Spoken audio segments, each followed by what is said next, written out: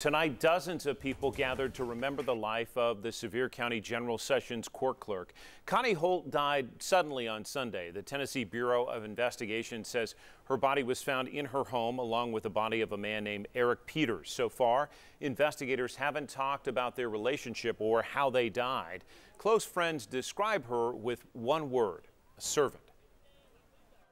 She was always there for everybody and a friend. If you met her out at the restaurant or if you met her out at the store, she took time to talk to you. She was just that kind of person. And to remember her as a servant, that's the, that's the greatest thing I can say for her. And that's a great thing to say, I think. Connie Holt began working for Sevier County in 1994 and was elected as clerk in 2002. The TBI is now investigating her death. New progress tonight in rolling out more